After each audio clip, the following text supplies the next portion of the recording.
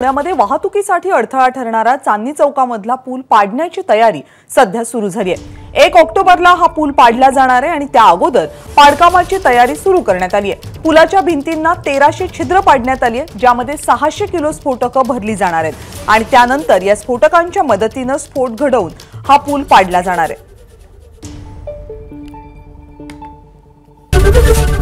ABP माझा. उघडा डोळे बघा नीट.